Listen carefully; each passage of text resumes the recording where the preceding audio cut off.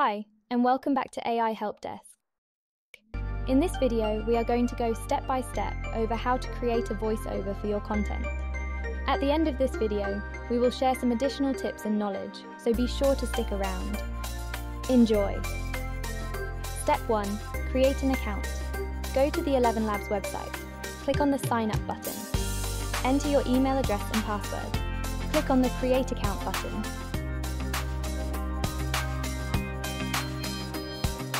Step 2. Clone a voice. Once you have created an account, you will be taken to the Voice Lab page. Click on the Clone Voice button. Select a voice from the list of available voices. Click on the Clone button. Life is like riding a bicycle. To keep your balance, you must keep moving.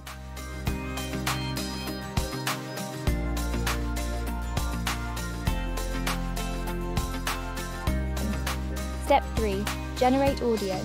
Once you have cloned a voice, you can generate audio. In the speech synthesis section, enter your text. Select the voice you want to use. Adjust the settings, such as the speed and pitch. Click on the Generate Audio button.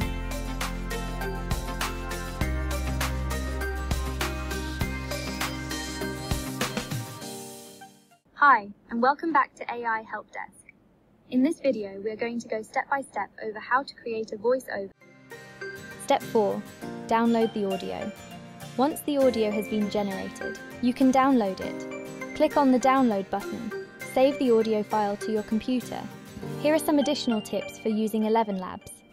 You can use the Prompts section to give the AI more information about how you want the audio to sound. You can use the Language section to change the language of the audio.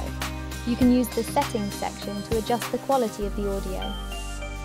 I myself am a creation of ElevenLabs. Do you think I sounded okay? You can easily use this tool to create amazing stories on YouTube. I hope you found this useful. Be sure to like and subscribe, as that video tutorial about how to easily create your own stories by using AI will be coming out soon.